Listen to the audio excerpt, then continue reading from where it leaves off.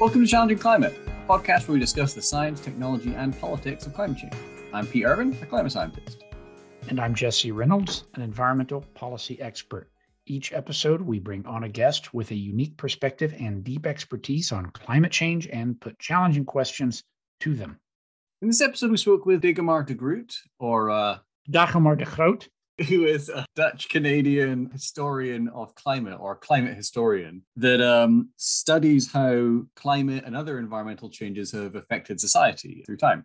And it's really interesting. We we talked about what can historical archives tell us about what the climate of the past was, and spent more of our time thinking about the ways in which climate has affected society and how that's been maybe misunderstood in the past and some of the biases in the field how the kind of careful historical analysis that Dagomar does can reveal the ways in which societies struggled or thrived as the environment changed around them. And what's clear, in as much as anything can be clear, from a field such as history, climate, and society, I believe, is societal responses to changes in climate vary.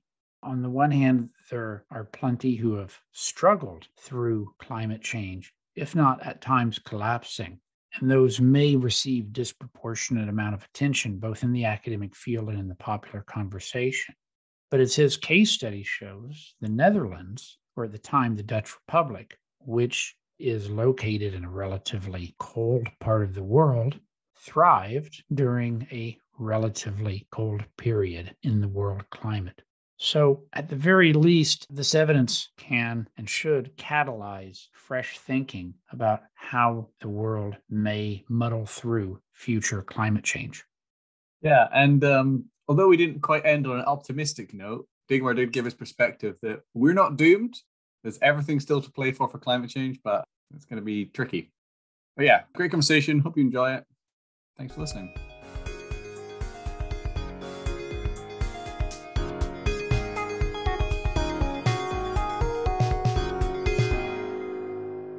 We are joined by Dagomar Degroot, an associate professor at Georgetown University, where he studies how communities have responded to past environmental changes. Alongside his academic work, which has been published in Nature and the American Historical Review, Dagomar writes popular pieces which have been published in the Washington Post and elsewhere.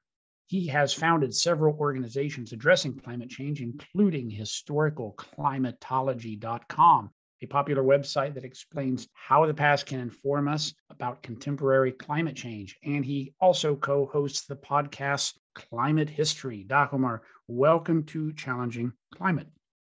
Well, it's such a pleasure to join you both. Thank you for inviting me. Let's start a little bit about you and your life. You're an environmental historian. How did you end up an environmental historian studying the, uh, the interaction of climate and history? Yeah, that's a good question. Uh, I ask myself that sometimes, and I've been asked that many times, and I think my answer keeps changing. and I keep going backwards further in time, maybe. I grew up in really the middle of nowhere, a little town called Wainfleet. And growing up there, I was always looking at the sky. And one of my first loves really was uh, meteorology, trying to figure out how the weather would change based on the clouds. And then also astronomy. There's not many buildings around, it was a big, big sky. So really, I came to science first. And I thought I would be either an astronomer or maybe a meteorologist, maybe a climatologist. But then it turns out I wasn't really all that great at math. and I was also interested in history.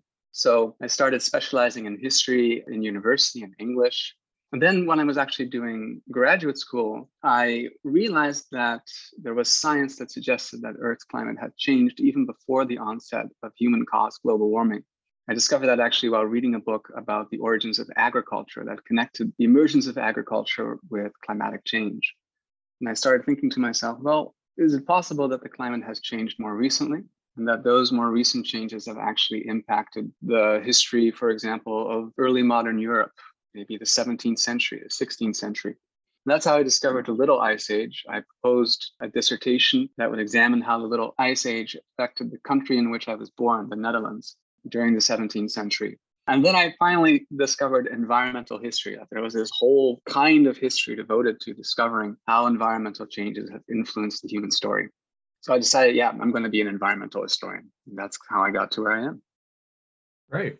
Um, so focusing in on the climate side of things, as I understand it, and please correct me, climate historians or historical climatology has sort of two sides. One is to do with reconstructing climates of the past, and another is how the climate affects society. So, on that first one, how can climate historians help us better understand the climates of the past? Yeah, so there's a whole bunch of different terminologies here, I guess, to sort through, and it gets a little confusing. So, there's historical climatologists and paleoclimatologists.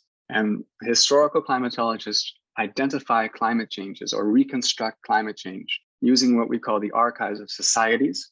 And then paleoclimatologists do the same thing using what they call the archives of nature. So the archives of societies are just anything created by human beings that attests to how climate has changed in the past. And that can be direct observations of weather in surviving texts. That's often what we use or it can be records of human activity that must have been very closely tied to climate change, like the use of particular harbors that might have been affected by sea ice in winter and therefore could not be operated in winter, or the dates of harvest, things that would have been importantly influenced by weather. Or even historical climatologists can use things like archaeological ruins or oral histories in creative ways to gain less precise, what we might call lower resolution understandings of how climate has changed. Okay, so that's historical climatology because historical climatologists are limited to the human record and really in practical terms, often the human record of documentation, right, the textual record. Uh, historical climatologists can't go that far back in time, usually. And so you also need paleoclimatologists. Paleoclimatologists, again, use those archives of nature, including rings in trees or layers in ice cores, as proxies for past climatic changes. So the width of tree rings can be correlated to the amount that a tree grows in a growing season, and the amount that a tree grows in a growing season might be powerfully affected by temperature or precipitation, depending on the kind of tree, depending on the location of the tree. And then the ratio of heavy to light isotopes in those rings might also have a lot to tell us about temperature or precipitation.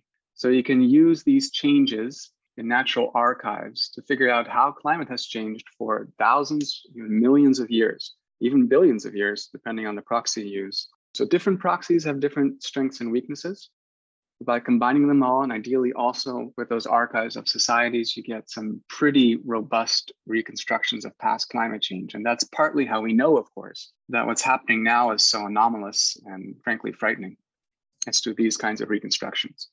And then yeah you mentioned also climate history. Climate historians explore using historical sources how climate changes have influenced human societies human populations but in a recent article, which I'm sure we'll talk about, we argue for what's called the History of Climate and Society, or HCS, which is a much more multidisciplinary understanding of that kind of work because archaeologists have been doing it for longer than historians. Geneticists are now involved, paleoclimatologists are involved as well. Many different scholars from many different disciplines are undertaking that kind of work using many sources other than historical sources.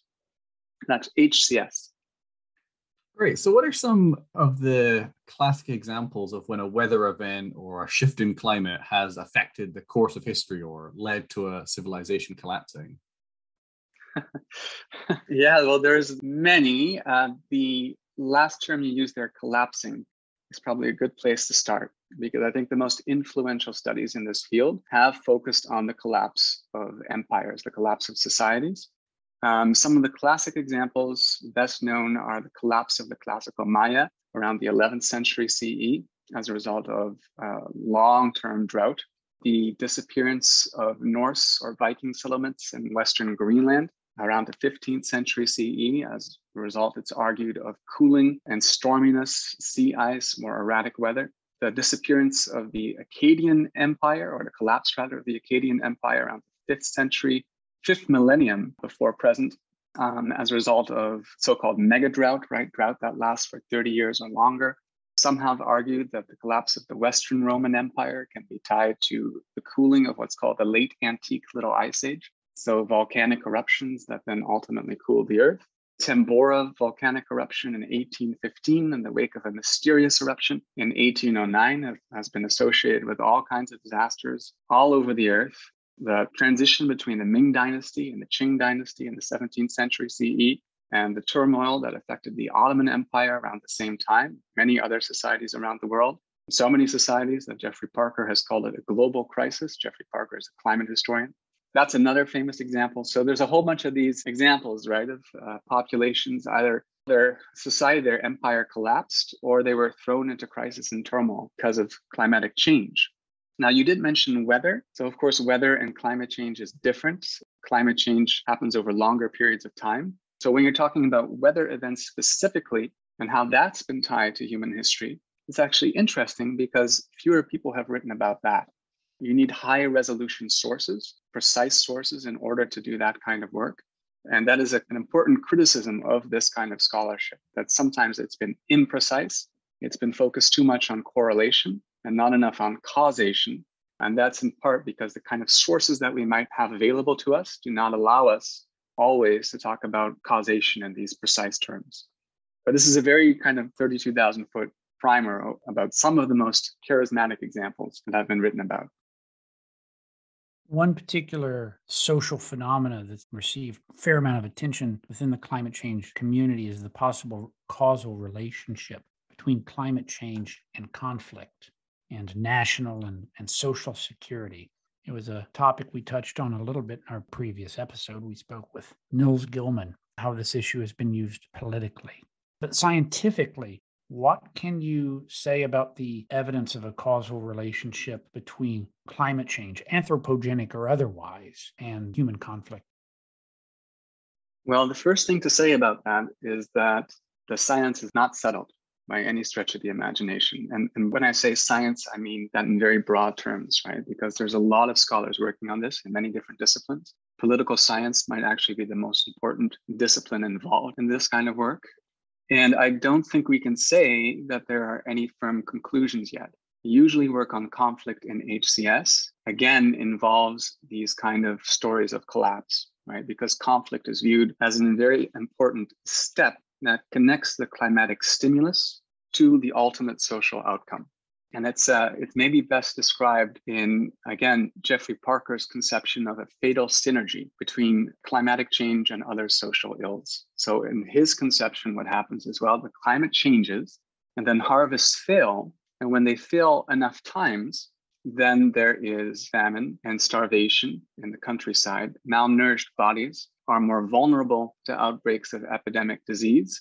So there's also then epidemics that leads to depopulation and migration, migration can bring epidemics to new regions. So the depopulation gets even worse, mortality gets even worse. People who are desperate start to blame the government for their troubles. There's sedition, there's rebellion, there's wars within countries, and then different countries try and exploit the weaknesses of countries that are affected by civil war. So there can also be wars between countries. That, of course, leads to even more pressure on the countryside because armies plunder the countryside or demand resources from the countryside. So there's then a fatal synergy between the climatic stimulus, right? Famine, epidemic disease, warfare, that all leads to potentially a small climate change having a very outsized social outcome. And that is how we might get to these episodes of collapse, right? Even if the climatic change is originally quite small. So, embedded within that idea, which has informed this field what I call HCS, History of Climate and Society, for a very long time, is the idea that climatic change causes conflict. And there's been a lot of work more recently that finds correlations statistically between climate change and conflict. And this is a whole different sort of subfield of HCS that uses statistical means. And the idea there is if you can find these correlations between, let's say, the frequency of war and climatic change, then we've established a causal link, right, between climatic change and conflict. And these studies probably have been most influential for tracking civil war in sub-Saharan Africa. I think especially the work of Marshall Burke, which was very, still is extremely influential and important for policymakers. But really a pioneer in this work actually is from Hong Kong. His name is David Zhang.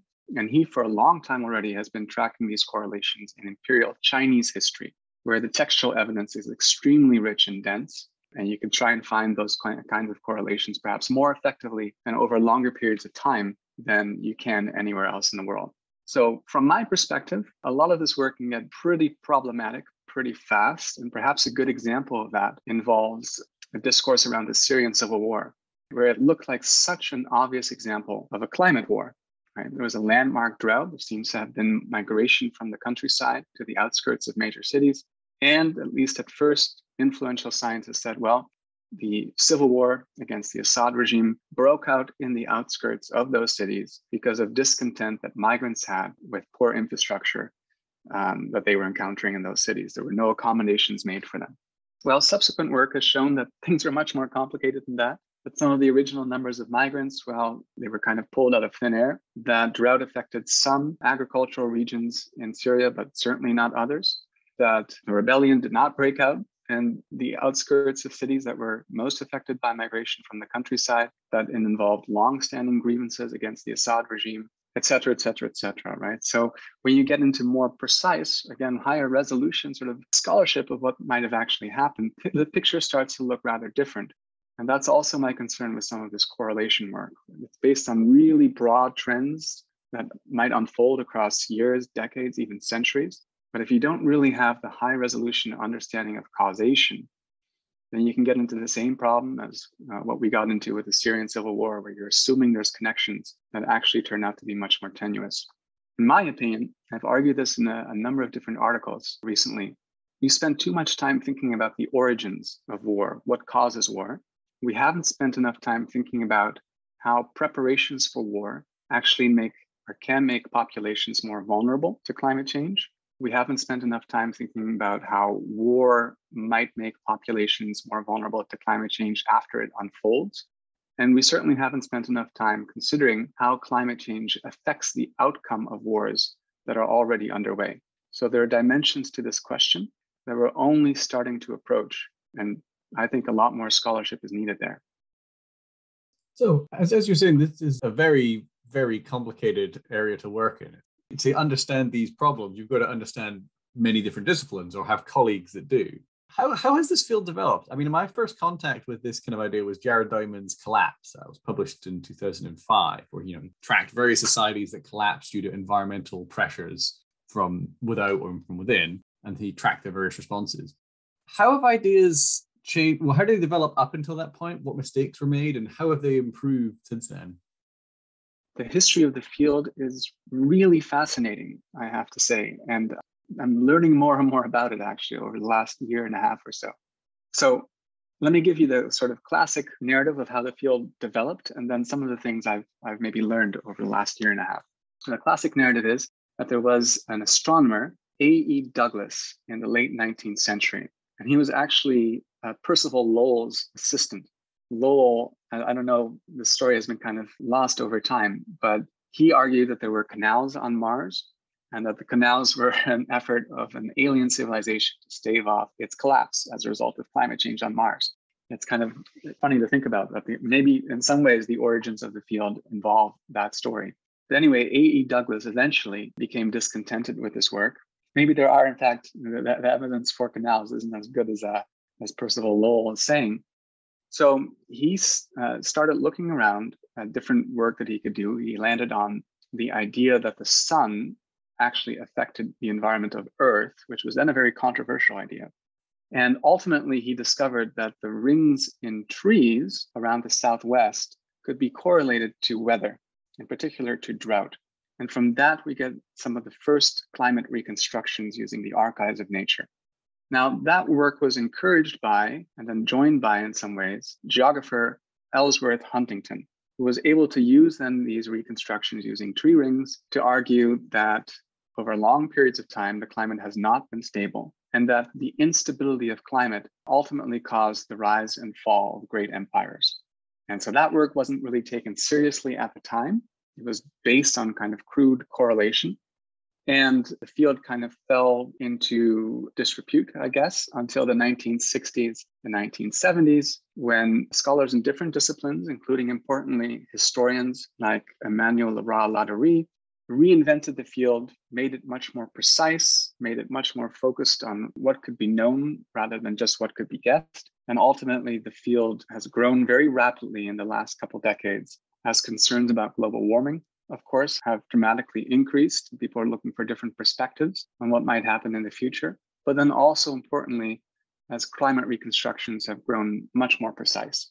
So that's the kind of classic story of the origins of the field. What I found interesting over the last year and a half is just discovering the extent to which these ideas have their origins even in antiquity, or even in some of the oldest myths. There are these ideas of rapid changes in sea levels. Maybe you could even associate that with the end of the Younger Dryas and the last glacial maximum and the dramatic sea level increases that happened then. Maybe those myths have their origins in that.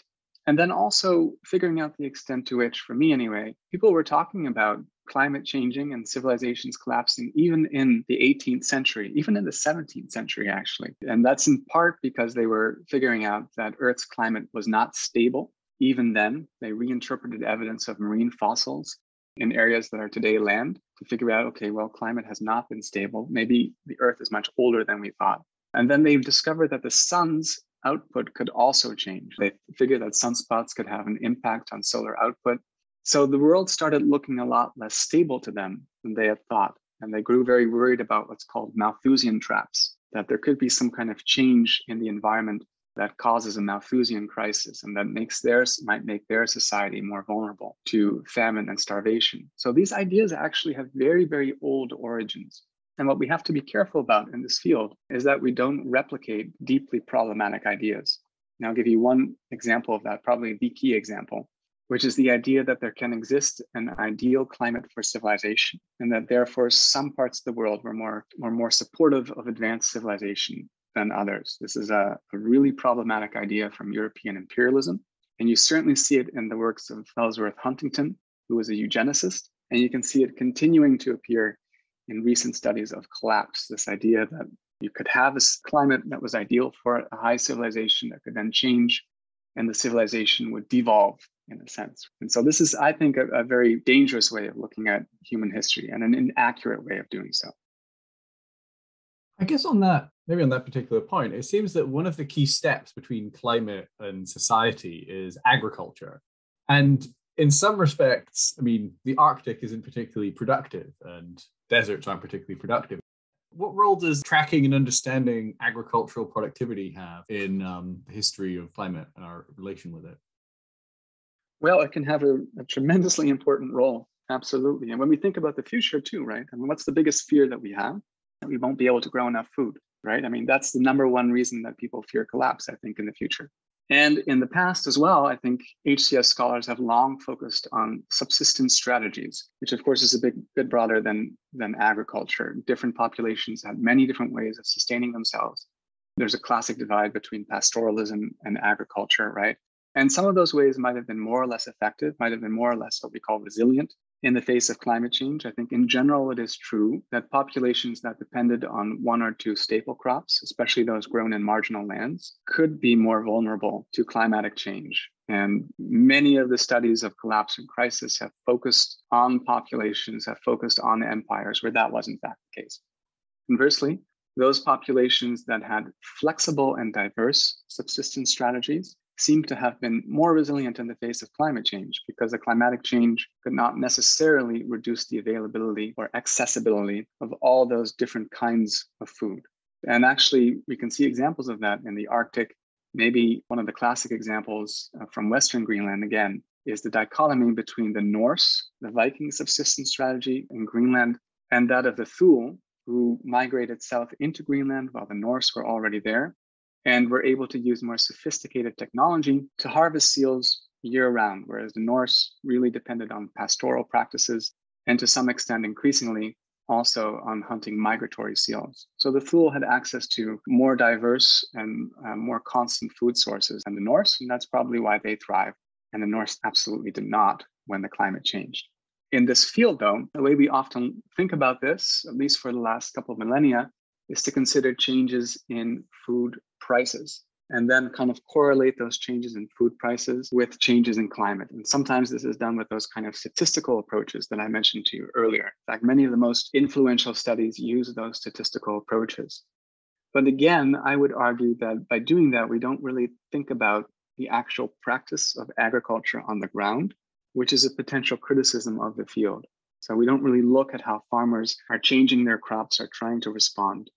There's some examples of this. Heli Huhtamaa is a scholar who has done great work. My PhD student, I should shout out to her as well. Emma Moesswilde is also beginning to do this kind of work. But these approaches, actually looking at agricultural practice on the ground, are still in their infancy. And I think that's where the field kind of has to move. But I will say that I think we should consider getting beyond agriculture and beyond growing food. Of course, that's important. But we tend to assume that climate change most directly affects populations, all populations, through food production. And I don't necessarily think that's the case. Uh, in my research, for example, I found some pretty profound impacts of climatic change on how war can be fought or on how you can move. And I can't agree that the impacts of climatic change on food production are more direct or even necessarily more important than its impacts on those other ways of organizing human activity. So I think we have to be a little cautious in assuming that food production is always going to be most directly and most importantly affected by climate change in different populations. So your review article is quite critical of the field. You, have mentioned a few of those criticisms already, but what are some of the big biases and other issues that you want to mention when tackling history and climate? Yeah, I, it is critical of the field. that's, that's true, but it's a it's a kind of criticism that I think has been anticipated by other scholars. I think it's um, it's actually an amalgamation more than anything of critical approaches that scholars in the field have had for a while now, and maybe discontentment with certain elements of the field. Uh, so yeah, I've mentioned a few of them. One that I would say as well that actually motivated me to begin putting together the team that wrote the article is this idea, right, that we have a sort of systemic bias in how we organize and how we develop publications in the field and try and identify relationships. We've been so focused on crisis and catastrophe. And that's usually because we come across climate change as a way of explaining some sort of inexplicable event, otherwise inexplicable event in history, usually some sort of disaster, right? Because those are best documented, those are most sensational, those tend to influence and inspire a lot of scholarship. So we, we usually try and write articles in this field to explain disasters. And of course, that means that at least in the discipline of history, the overwhelming majority of articles are focused on catastrophe.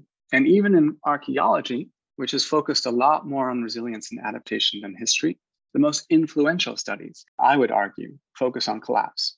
So there's been a kind of systemic bias in how we sort of identify moments that we connect to climate change, historical moments that we connect to climate change. And as a result, by, by reading the field, you might gain the impression that climate change has always caused collapse and crisis. And I would argue that that has led us to overlook a lot of examples of adaptation and resilience that are no less important, either for us trying to uh, gain insights into the future or for us to understand how populations have actually, you know, experienced climate change in the past. We've been talking at a fairly abstract level about the field and the methods and insights, potential biases, etc. Let's spend a few minutes diving into a case study. This was the topic of your book, published in 2018 on Cambridge University Press The Frigid Golden Age Climate Change of the Little Ice Age in the Dutch Republic, 1560 to 1720, focuses in on the country of your birth. During the Little Ice Age, which for those unfamiliar with it, it was a cold spell lasting from the roughly the 16th to the 19th century. And what struck me most, of course, at the most general level, are two things. First of all, that the Netherlands is a relatively cold country to begin with, and yet it thrived. It reached its literal golden age during an abnormally cold period seems at first glance counterintuitive.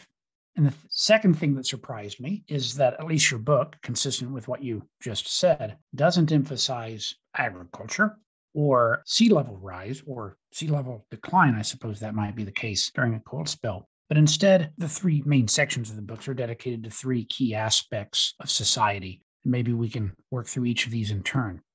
And the first of these is commerce and colonies, and as you hinted at a moment ago, ways of moving around. So, how did a abnormally cold period of, of a few centuries impact how the Dutch could move and trade around the world? Sure. Let me back up just a little bit, beginning to answer that question, just to provide a tiny bit more context on the Little Ice Age and how it's been written about, maybe. And then, yeah, I'd love to get into the commerce stuff. Um, Little Ice Age, the first thing to emphasize about it is that it's a period of modest cooling. And I think this is really important because, well, this is actually one of the criticisms we have in that Nature article that Scholars in these disciplines that focus on the past history and archaeology often misinterpret climate reconstructions developed by paleoscientists, for example, right? So, in a bunch of different publications, the Little Ice Age is viewed as this period where temperatures cooled by two degrees Celsius, something extreme like that, right? Which would make it bigger than global warming has been so far, a lot bigger. Well, it was much smaller than global warming, at least in magnitude. We're talking about a cooling of, of not more than half a degree Celsius in the northern hemisphere during the coldest decades of the period. So it's it's modest compared to global warming has already been. It also came in a series of waves that reached different places at different times, so it was not globally homogeneous, unlike global warming is today. But it did alter precipitation patterns in many parts of the world, so that in the southern hemisphere it might be more accurate, as uh, colleague Sugata Ray says, talk of a little drought age uh, as opposed to a little ice age. So this is a complicated period the way it's been written about by people like me is well, there's been a focus on crisis and collapse, right? We talked about the Greenlandic Norse. That's maybe the most charismatic example of one of these collapses. But there's a bunch of other ones that people write about. Depopulation of Angkor is a good example in present day Cambodia. And just there's been this focus on crisis, this identification of waves of crisis across Europe and across the world in different cold parts, dry parts of the Little Ice Age. So that's the kind of story I wanted to write originally uh, when I approached the frigid golden age. I, I first of all, I, I, didn't know that people had written a bunch of these accounts already. And I just assumed, well, when climate changes, then societies fall into crisis and, and maybe they collapse. And you know, I, I discovered, yeah, there were some political crises in the Dutch Republic that overlapped with periods of cooling. So, okay, yeah, maybe this makes sense. But then soon enough, I realized, well, wait a minute. I mean, this is a period when population of this little country doubles, urbanization rates soar, per capita wealth is maybe higher than anywhere else in the world. There's so much art on everybody's wall, pretty much, that we still think of it, many people still think of it as a, a golden age. Those terms are contested now, but anyway, a golden age for the people who live at least in the coastal cities of this society, I mean, by and large, they thrive and they realize it. They were writing about how much they were thriving, how rich they were. So that was a kind of paradox for me, exactly as you say, right? Because I thought, yeah, I mean, this is a country that is very vulnerable to its environment, to environmental conditions, right? A large part, the richest part of the country, uh, moved well beneath sea level from the time it was drained in the medieval centuries, the high medieval centuries. And so any sort of changes in storminess, I figure, is, that's going to cause a lot of problems. And it did, actually. There were these massive floods in the 16th and 17th century that carried away thousands of people, killed thousands of animals. So there were disasters like that. And I figured, yeah, okay, so this is a cold country. Now already it can be pretty chilly, um, although not by Canadian standards, which is where I'm from. And I figured, well, okay, so if it's already pretty chilly and months in the winter these days, you can get pretty close to freezing. What happens in this watery country when it's below freezing for large periods of time? That must have had a big impact. But so I was really surprised to find out that the relationships were not as straightforward as I thought. And eventually I landed on okay, I'm going to look at the best documented aspects of the society and then also maybe those aspects of the society that made it most distinct compared to other societies. And commerce was a huge part of that. In the 16th and the 17th, 18th centuries, to some extent, the Dutch Republic became the most important trading country in Europe and then ultimately throughout large parts of the globe, especially the Indian Ocean. Dutch merchants dominated waterborne trade across Europe. The Republic itself was crisscrossed with a network of canals and roads and rivers and other transportation systems that linked its centers of population in a way that very few other contemporary states had linked population centers through the Dutch East India Company, dominated the trade in rich and high value goods from Asia into Europe. Um, and then also the intra Asian trade, so connecting different ports and population centers across Asia, across the Indian Ocean. The Dutch East India Company became increasingly important especially in the 18th century, in that trade. The West India Company was centered on the Atlantic, ultimately became a key player in Brazil when that was Dutch Brazil for a while, but also parts of North America. And then, particularly when it was reformed, became a very important player in the slave trade, obviously from West Africa into the Western Hemisphere. Something like 5%, I believe, of all slaves from Africa were transported on WIC ships, uh, but a lot of that transportation was concentrated in a relatively small amount of time. So Dutch commerce becomes incredibly important. And it was a real challenge for me to figure out how to write about this. Um, at the time I was writing, I, I, believed that climate reconstructions were not high resolution enough to write about production of essential commodities outside of parts of the Northern Hemisphere. So I decided to focus on movement, which had really very few people had written about that. And then how changes in atmospheric circulation across the Atlantic and Indian Oceans might have affected how quickly Dutch ships could move and maybe how vulnerable they were to, let's say, storminess. So I thought a lot about, yeah, wind as a power source and how that could allow ships to move in different directions at different speeds.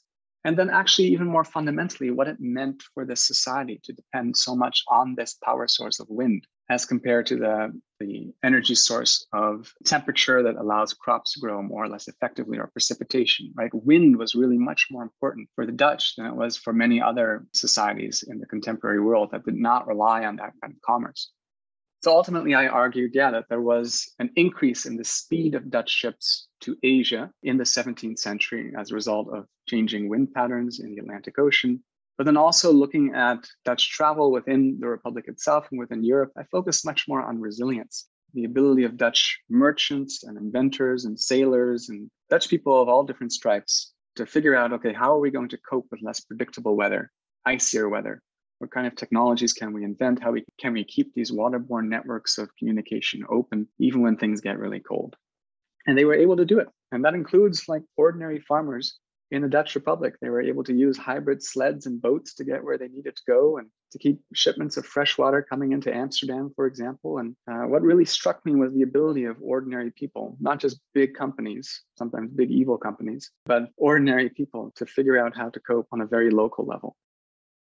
The second aspect of the Dutch Republic in the so called Golden Era that you focus on is the military. Obviously, weather is widely discussed as having impacts on military activities, but climate is something different, some long term average. How did the Dutch military fare in the Little Ice Age? Well, the Dutch military fared overall quite well, although and this is the case with many aspects of the book and, and, many elements of these relationships. There are advantages and disadvantages, and soldiers and their leaders cope more or less effectively with those different pressures. So I have a chapter in there about what, what are, is sometimes called the Dutch War of Independence or the 80 Years' War, which is the long Dutch effort to break free of the Spanish Empire. The provinces that became the Dutch Republic were actually part of the Spanish Empire in the 16th century. And this was very much a David versus Goliath fight because the Spanish Empire was one of the world's great empires in the 16th century, along with the Ottoman Empire, kind of vied for dominance within Europe, France, I guess, as well. And, you know, in terms of the population of the provinces that became the Dutch Republic, it was so much smaller than that of the Spanish Empire. And the Spanish Empire had this army of Flanders, which was the most feared force in 16th century Europe. And it just seemed like would be no contest at first. And the Dutch, ultimately, the Dutch victory, which was um, solidified in 1648, you know, it was a result of a whole bunch of different influences. But one of them, I argue in the book, uh, was climate change. Climate in the 16th century became cooler as a result of another one of these cold waves of the Little Ice Age but then also as a result of different circulatory patterns in the atmosphere, a bit wetter over the low countries. And that had different contradictory influences, the Spanish effort to reclaim provinces of the Dutch Republic. So, first of all, cooler, well, that had mixed benefits for the Spaniards, for their armies. Because if it was cold, the rivers that otherwise provided a kind of defensive barrier around uh, the Dutch Republic, they would freeze over and allow the Spanish to easily cross. And that was pretty bad if you were Dutch. And that also then, of course, allowed the Spanish to cross over the watery environments around key fortresses and cities, which normally, again, provided impediments for their advance. At the same time, however, when it was cold, the Spanish might have to besiege cities during exceptionally severe frigid weather. And this is because, in part, of a new kind of way of fighting that was imported from Italy through uh, what's called the Italian bastion, a kind of revolutionary fortress that allowed fortresses and cities to absorb artillery bombardment, made them much more difficult to claim by an invading army. So war was fought through these kind of grueling sieges. And when you were encamped around the city in bitterly cold little ice age winters, could be extremely dangerous, especially if you used up all the fuel to make fires that was readily available around that city. And you know, the low countries are not particularly well forested, to put it mildly, especially back then. So as a result of that, many Spanish soldiers died. He just camped out in the field, and Spanish armies repeatedly mutinied in order to stay in winter quarters rather than besiege cities in the winter. So cooling had very mixed benefits for the Spanish. Heavy precipitation in the low countries provided even more important advantages to the defender, however, because when you besieged a city, you would dig lines of fortification around that city, trenches basically, that could be extremely long. And in order to do that, you actually had to be able to dig in soil that wasn't just complete mud. And in order to stay healthy in those fortifications, it really helped if they weren't just crumbling and falling apart and just wet and miserable. You can find examples of that from World War One as well, right? Where soldiers had to cope with trench foot because it was rainy and they were stuck in trenches. Very similar relationships in the 16th century, where soldiers found they just could not besiege cities because it was too wet. Then finally, the Dutch had it, and actually some Spanish also had a technique of intentionally flooding the environments around cities in order to make them truly impossible to besiege or in order to wash away besieging armies. And those floods, as you can imagine, when it was very wet and raining a lot, stormy, they could be much more effective than otherwise. And they, the most famous example, literally washed away a Spanish army that was besieging the fortress town of Leiden in, if memory serves, 1574. So there are all these relationships there, right? Some of them benefit the Dutch, some of them benefit the Spanish, um, when the Dutch were able to go on the offensive in the 1590s, they actually suffered from exactly the heavy precipitation that disadvantaged the Spanish earlier. So it's a complex sort of mix of advantages and disadvantages in the wars of independence. Later, when the Republic was a great power in Europe, it fought a series of wars primarily against England, but then ultimately against France and a couple of German cities, really for a dominance of commerce within Europe and elsewhere. These are called the Anglo Dutch Wars of the 17th century. And again, there's a contradictory mix of influences. This was fought during another, the onset of another cold wave of the Little Ice Age. And cooling uh, made it harder for the Dutch to use their waterborne networks of internal transport and communication, and thereby actually made it harder for the Dutch to prepare their fleet in the spring and to stock their fleet and to finish building large warships. So, in that sense, cooling had some pretty big impediments for the Dutch but also as a result of changes to atmospheric pressure over the North Atlantic Ocean, at least in part because of that. Atmospheric circulation again changed so that winds from the east were a bit more common during the second and third of these Anglo Dutch wars than they were during the First War. And that gave Dutch fleets repeatedly the advantage of something called the weather gauge, which is what you wanted to have in the age of sail, where the uh, you are between the origin of the wind and your enemy, and that gave you the opportunity to choose when and how to attack and retreat, which was viewed as a major tactical advantage at the time. And so, just because of the geography of where Dutch fleets were sailing into battle most of the time, they usually had that advantage of the weather gauge and were able to exploit it to win most of the battles in the Second and Third Anglo Dutch Wars, even when they were greatly outnumbered, and ultimately to win those wars. Now, again, there was a whole bunch of other stuff going on too. There were efforts by the Dutch to build large ships that were capable of taking on larger English ships and using different tactics like the line of battle tactics, which the English had refined. So there were all kinds of human changes that coincided with, and in some cases reinforced, the advantages of and the changes of climate that were happening at the time. And finally, quite different from certainly from military as well as from commerce is culture. The third part of your book dives into Dutch culture, which during this era is, of course, known as a peak achievement in the history of the Netherlands, the output of painters, especially. How did the Little Ice Age shape Dutch culture during this time? Well, it was a lot of fun to write those chapters and fun to think about. I think my favorite elements of that relationship to write about involved the development of new technologies, which uh, had really not been explored much uh, yet before I wrote those chapters. In particular, it was fun to, to think about the kinds of vehicles uh, that the Dutch designed in order to travel more easily over ice, like the ice wagon, which is kind of a mix between a sailing ship and a wagon. that used a sail to go really fast in high winds over the ice at a speed that astonished contemporaries in the 17th century. And it was made to transport messages uh, really fast uh, from one part of the Republic to the other.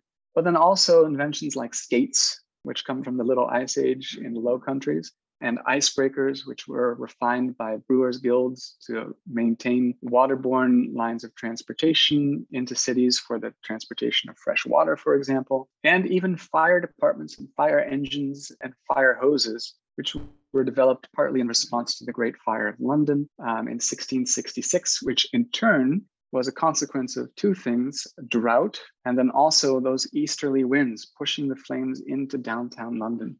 So it's it was a lot of fun to write about technology, but then also to think about well, were the Dutch actually aware that their climate was changing and how can we figure that out? And I found evidence of the Dutch doing exactly what a historical climatologist would do today, which is consult textual sources to find changes in uh, the frequency, at least of weather extremes. And they were able to deduce okay, when an extreme storm happened or an extreme winter, well, these winters might be getting more extreme or you know this is the most extreme winter in 80 years and often they were right about reaching those conclusions. Um, they were not able to track changes in weather averages at the time. That would depend on breakthroughs in statistical thinking that were largely happened in the 19th century but they were able to sort of track changes in weather extremes uh, which i found really interesting. And then the question of course is well are they developing these new practices and technologies again because they're aware of those extremes becoming more frequent or more severe. And that i wasn't able to find. I wasn't able to find any sort of smoking gun evidence of that. But i did explore changes in in art and how different genres of art realistically depicted the weather of the little ice age. Storms for example that affected fleets or wind changes in wind directions that influenced how battles could unfold. There were, in fact, artists who were embedded in contemporary fleets, like journalists were embedded in armies during the Iraq War, for example, or even now in the war in Ukraine, whose job it was to realistically depict how battles unfolded and I guess also the environmental conditions in which battles were fought. And they, sure enough, were able to depict the weather of the Little Ice Age. I found a more tenuous connection between what are called winter landscapes and the Little Ice Age. The development of a genre of landscape painting that depicted winters has often been tied to the cooling of the Little Ice Age, but in fact, these winter landscapes were sold alongside depictions of other seasons. They were not painted outside, they were painted in workshops. So it's kind of difficult to say that they're really showing what's going on outside. Um, nevertheless, they do show how Dutch consumers are purchasing these uh, depictions of winter, but also more importantly, the kinds of activities that might have been more common in winter weather. So, skating, for example, ice fairs, all that kind of stuff. You can see it in these landscapes.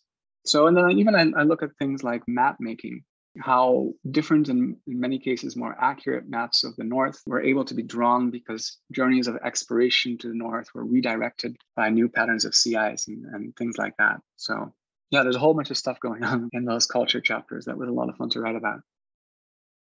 So, bringing this up to date now, I think it seems clear from your work and the work of your colleagues that climate change isn't fate.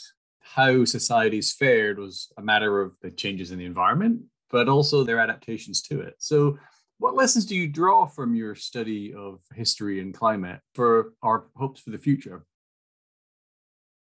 Well, the first thing we should emphasize is that human caused global warming is different than the Little Ice Age, and it's unfolding in a different world than the world of the Little Ice Age, right? So, already we talked about how the magnitude of human caused global warming is about double, more than double that of the Little Ice Age. And we are on course for maybe three degrees Celsius of total warming by the end of this century, although great uncertainties remain. So, when you're comparing global warming to the little ice age, you have to bear in mind that these things are of a different magnitude. And you know they have different causes or forcings, as, as we call them, right? Which also changes the level of threat that they present for us. And of course, global warming is much more globally homogenous than the little ice age was. So there's a fundamental difference there. There's also 8 billion people obviously living on our planet. And we're putting all kinds of pressure on environments around the world that, well, there was not that kind of pressure in the 16th century, put it that way. So there's a fundamental difference there. And part of the challenge in answering that question for people like me is determining to what extent we can make those kinds of connections, right? To what extent the past can offer any sort of guide for the future. And if you would say that the past can offer no guide because things are so different now, um, then I would not, I would argue with you, but I would understand where you're coming from. Uh, that's a totally reasonable claim to make. However, first of all, predicting the future is always going to be a very challenging prospect, right? And any sort of way of doing that is going to be problematic and flawed. And even imperfect evidence can be better than nothing. And so that is why I feel almost an obligation to try and find what useful knowledge we can in the past that can help us to sort of maybe inform activism and then also inform policy. I think an important lesson of the past is that even those populations that were confronted with extreme regional climate changes, because even though we're talking about globally modest climate changes, regionally the story could be quite different. Well, and exactly as you put it, their outcomes were as influenced by the magnitude of that change as they were by the characteristics of their society. And what that means, of course, is that there is a likelihood that adaptation, if we're smart about it, that adaptation can mitigate some of the effects of global warming for contemporary populations. And what kind of adaptations, then, the question is for me, were most effective in the past? One of them that I've really emphasized in a lot of my popular work is the kind of adaptation that provided for the poorest people in society, either because the society at the time there was not much of a difference between the poorest and the richest, right? That there was uh, social economic equality within that society, or because the society provided very, very effectively for the poor. And this is something we see in the Dutch Republic as well. A grossly unequal society, yes, but in coastal cities of the Dutch Republic, there was a strong tradition of civic charity that was able to, in many cases, provide enough food for the poor who elsewhere would be the most vulnerable uh, to harvest failures and, and would die off in huge numbers. So then also, okay, so how does that change how we view adaptation today? Well, it might make us more uh, amenable to policies in the Green New Deal, for example, right? Which imagine a kind of whole of society response to climate change, where addressing environmental justice, racial, gender inequalities is a part of climate adaptation. So that's one way, I think, a pretty concrete way in which the lessons of the past might make us favor one set of policies over others that maybe prioritize infrastructural changes as means of adaptation. We need a whole of society approach to adaptation. Other things we point to in our resilience article uh, would be things like maintaining redundancies and diverse networks of trade. Um, so much of our society right now is uh, and our trade connections privilege efficiency over redundancy because redundancy is viewed as inefficient. Whereas, in fact, I think those societies that were resilient in the face of climate change, like the Dutch Republic, were able to have very diverse sources from which they derive their essential commodities and redundancies in that, for example, there were many different ways of getting from one region to the other, or many different places you could draw from if things dried up in one area versus another. So that kind of prioritization of redundancy is actually long-standing in climate policy debates. People were talking about it already in the 1970s, at least. But the examples of the past, I think, maybe make that more obvious and more important, or confirm that that, that is essential. Another thing would be, well, in our resilience article, we talk a lot about migration, how migration has been perhaps the ultimate means of adapting to climate change. And of course, we anticipate a large increase in the number of migrants in this century. How large is up for debate. Uh, what that looks like, example, is up for debate. But it seems obvious to me that if migration is an adaptation, successful adaptation to climate change, that we should try and normalize and accommodate it, particularly in those rich countries that are most responsible for the climate crisis so far. So we also emphasize that that we need to think of ways not to ban migration or to criminalize it, but to facilitate and to welcome it to the extent that's possible especially in rich countries like the United States. So those are a few different lessons that I think that we might learn from the past. And maybe one more, one more that's important and that touches more on mitigation. And that is that relatively small climate changes we learned from this field have had outsized impacts on populations. Right? Again, a little ice age, we're really talking about modest climate change. And so we should be very careful in accepting that we're going to warm the world by two degrees Celsius or two and a half degrees Celsius, or view that as some sort of policy success, right? Because every tenth of a degree Celsius really matters. And the past does tell us that. So if we can move heaven and earth to limit climate change to 1.5 degrees Celsius, the past tells us that we should do that and make that a priority. So that is a kind of warning that the past can give us. This is not all like, yeah, we can adapt to climate change. It's also, this is a real threat. Great. Well, we like to end on an, on an optimistic note. So just to sort of make that a little more difficult, we, we've been talking in a few of these recent articles, I mean, recent podcasts about doom about the fact that many uh, many young people feel that we're doomed because of climate change. And and you wrote a recent piece in the Washington Post countering some of that. So um, why are you more optimistic about the future than some? Yeah, I mean that's always a question about what it means. What is optimism these days, right?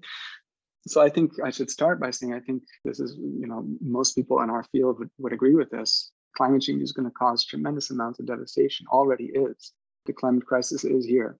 And you know, the people most affected in many places are going to be those who have been historically marginalized and continue to be marginalized. Ecosystems are being transformed, will be increasingly transformed, so that the world of the 21st century is going to look very different.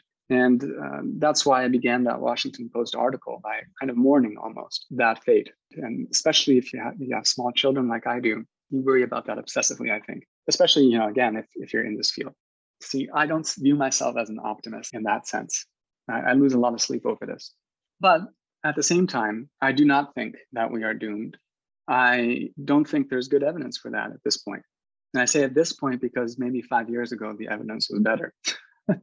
when it seemed like we were on course to warm the earth by maybe four degrees Celsius or more by the end of the century.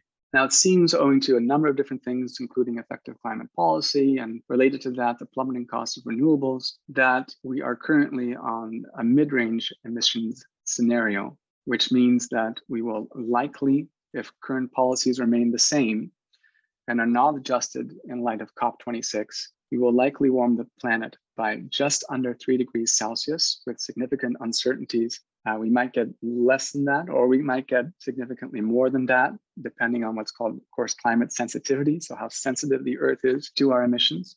But we, if things remain the same, we might get to that number.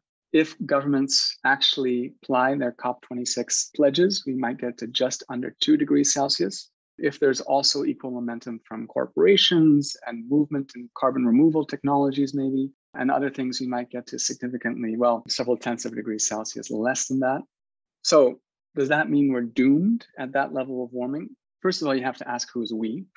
And then second of all, you have to ask what is doomed. But if by doomed you mean that the human race is going to go extinct, which is I think often what people mean when they say that, then I would say that there's no good evidence for that.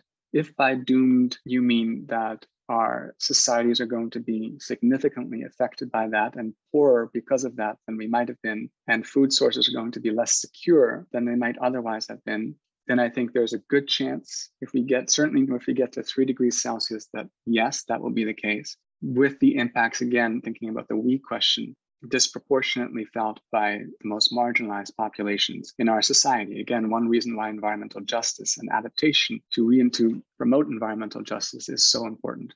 So I think these are important messages to get out there because I think, well, denialism is the biggest threat that we face right now, frankly, right? I mean, I, at least to me, I feel like there's hard to debate that.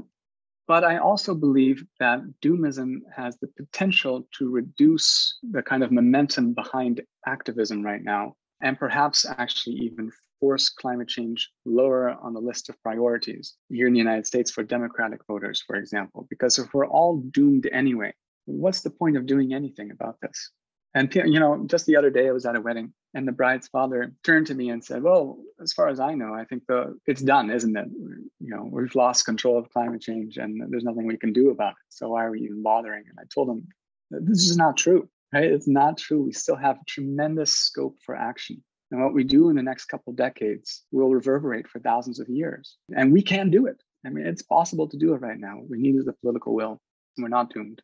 So I think that's a really important message to get out there. And I should say also that other people have gotten it out there very, very effectively, and perhaps more effectively than me. I think of Kate Marvel and Zeke Hausfather.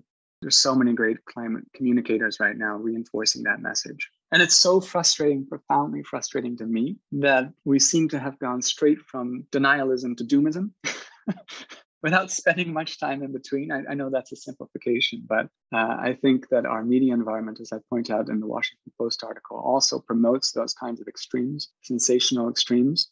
I think that's very toxic for our ability to actually get any sort of climate policy done. So anyway, I would also forward you to those other climate communicators, and uh, I am hopeful at least that we won't go extinct. Maybe that's a good note to close on. I think it is. All right. It's not black, it's not white, it's somewhere in those shades of gray. And there's lots that we can do to make it brighter. All right. Well, thanks, Dagomar, for joining us. Um, it was a really interesting conversation. Thank you so much. Well, thanks for listening. Please rate or review us on Apple Podcasts and elsewhere, and consider supporting us on Patreon. That's patreon.com slash challenging climate.